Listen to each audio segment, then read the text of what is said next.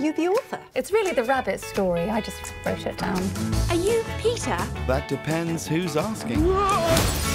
Peter, stay out of trouble. Told you he has it in for me. He was talking to all of us.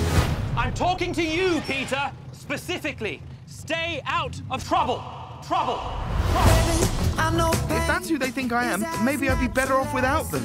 Oh, oh come on.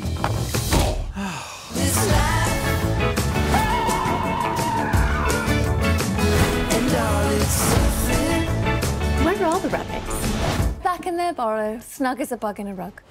I'm gonna live forever! Ah! Join them, frolic. I can frolic.